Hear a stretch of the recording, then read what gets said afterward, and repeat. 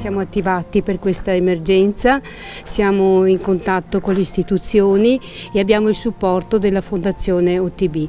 Abbiamo inviato una mappatura a tutte le associazioni per raccogliere tutte le attività che stiamo facendo. Ci è arrivata una richiesta d'aiuto concreta da parte dell'associazione Il Ponte Miste, un'associazione che ha più di vent'anni si occupa del popolo ucraino, in particolare di bambini, di famiglie e quindi abbiamo accettato la richiesta d'aiuto anche perché hanno contatti diretti anche col Ministero dell'Interno. Abbiamo avviato una campagna di raccolta fondi con la rete del dono e stiamo organizzando dei pullman che partiranno lunedì mattina per eh, il confine con la Polonia e per portare a casa le prime 100 persone.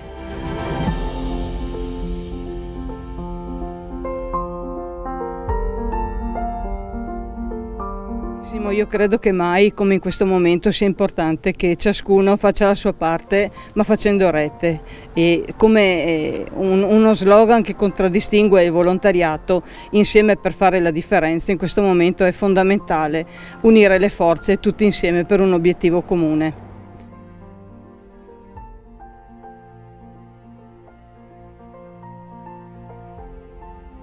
Ieri abbiamo avuto questa chiamata, ci siamo resi subito disponibili per la partenza, già subito domani mattina noi partiremo praticamente con, con due autobus, quindi cinque autisti e saliremo su verso il confine polacco, insomma verso il confine con l'Ucraina.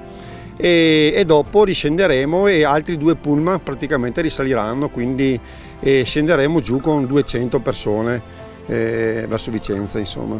Perché ci sentiamo tutti un po' nel cuore no, questa cosa e dunque la chiamata si risponde subito con un grosso sì insomma. Dai.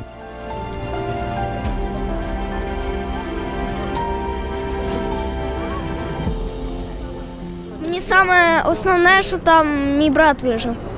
Lui dice, che spera tanto, lui dice che spera tanto che eh, tra poco tempo riesce a tornare e, e vince e vince Ucraina, no?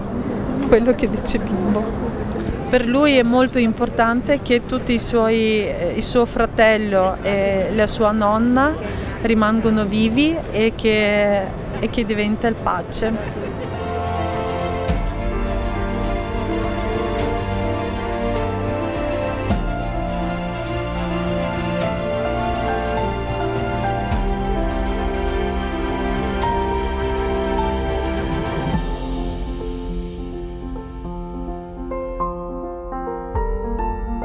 Emozioni, da una parte la preoccupazione di dove stanno andando, dall'altra la gioia che leggi nei loro occhi per ritornare a casa e, e le lacrime anche per eh, tutta l'ospitalità, l'accoglienza che hanno ricevuto da, da queste famiglie italiane. Le famiglie sono preoccupate, però sanno di aver dato in questi mesi tanto, di aver dato casa a queste persone che avevano proprio bisogno di calore umano, scappate dalla guerra oggi ritornano, ritornano perché chiamati da, dall'Ucraina, infatti questo viaggio è stato organizzato proprio dal sindaco di Jitomer, sono 85 persone che partono e speriamo in bene cosa possiamo aggiungere. E siamo veramente orgogliosi come comunità vicentina di questa nostra risposta a un'emergenza così importante.